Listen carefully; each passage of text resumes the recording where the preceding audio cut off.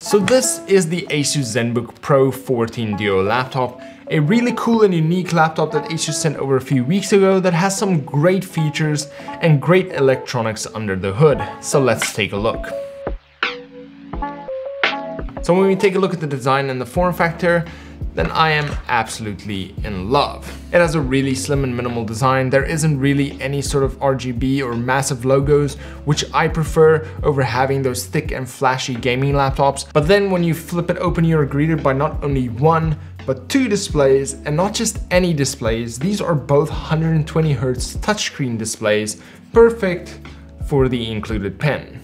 Now the main display is a 14.5 inch 2.8K OLED display with a 16 by 10 aspect ratio, meaning you do have a little bit more real estate top and bottom, which is great for video editing, graphic design, and even gaming. And so no matter what you do with this display, it will look good, it will be smooth, and you will have really great contrast thanks to the OLED display. Now, even though the main display is 14 and a half inches, you do still have a fairly small footprint. Now the laptop itself is around 18 millimeters thick and weighs around 1.7 kilograms, making it really easy to throw into your backpack and take with you wherever you go. They did also save some space by not placing the mousepad below the keyboard and I honestly like how this keyboard and mousepad layout looks and once you get used to the new placement of the mousepad, it actually works better than having it below the keyboard or at least it did for me. Now the model I have here is powered by the Intel i9-13900H, an RTX 4050, 32 gigabytes of DDR5 RAM,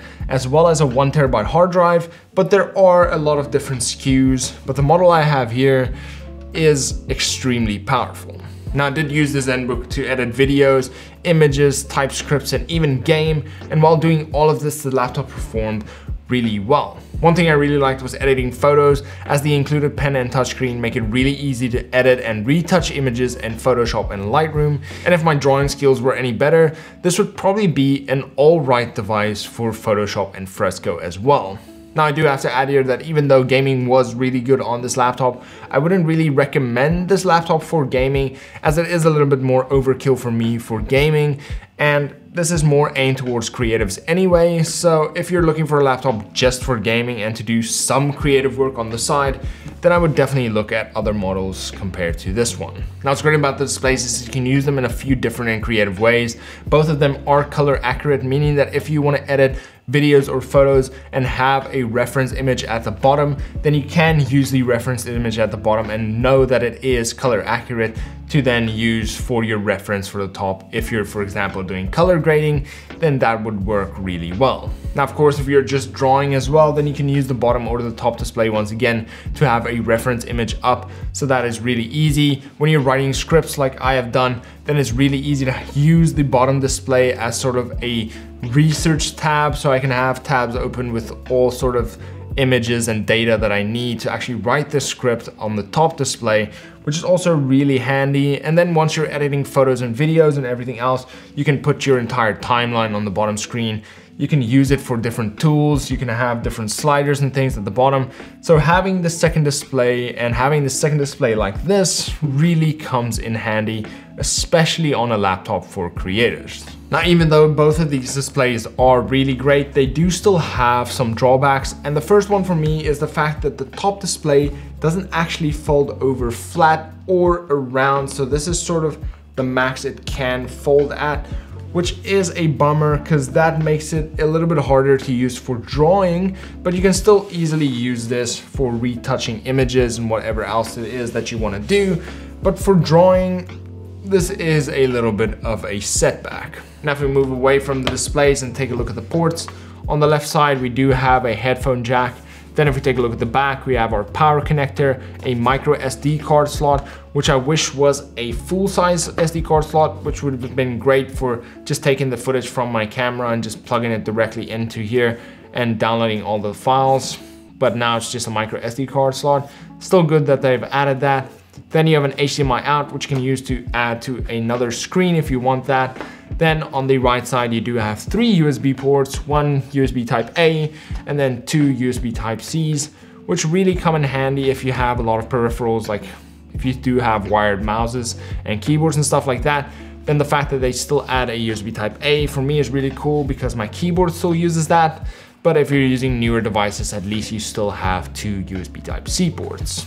Then the laptop also comes with a full HD webcam, a 4 mic array that captures 360 degree audio, and even has AI noise reduction to remove background noises for clearer online meetings and calls. Then if you're not using headphones, you will be listening to sound provided to you by Harman Kardon, which sound really good. So if you don't want to wear headphones or in-ears the entire day, you don't have to. So as I said, the Asus ZenBook Pro 14 Duo took everything that I threw at it and handled it like a champ whether that was video editing, editing images, playing games, or just using it for general day-to-day -day purposes, this laptop worked extremely well. And for the price, it definitely should.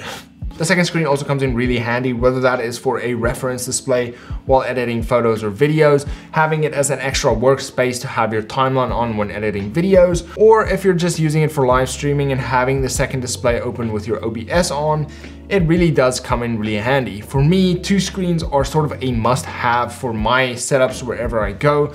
So having a laptop that has a second screen built in while still having a small form factor really is a great added extra. I really love the design and form factor of the device, how compact it is when you actually fold it up, how easy it is to carry around with you every day, but it isn't without its flaws. Now the first drawback for me is the fact that displays don't actually fall down flat and this is the most you can get out of it. It really does limit your ability with what you can do with this. I would have loved if it could have folded in some sort of like tablet format and you can use the top bigger display for drawing. You could still potentially use the bottom one, but I would have loved to be able to use the top one for drawing as well. Secondly is the brightness of the displays. These displays don't go as bright as I would have loved them to go. For indoor uses, they're more than good enough. For outdoor uses, they may not be good enough, uh, depends on where you actually use this laptop, but for general use cases, I wish it would have just gone a little bit brighter. And then lastly is battery life. Now it does have an OLED display, meaning that if you have darker areas, if you have darker themes, then you will get a little bit more battery life out of this. But battery life in gaming laptops and high-end laptops like this are usually a little bit lower because they have all of these high-end components that they need to run, which do require a lot of power. So that isn't really something that shook me at all, but it is something that still lacks.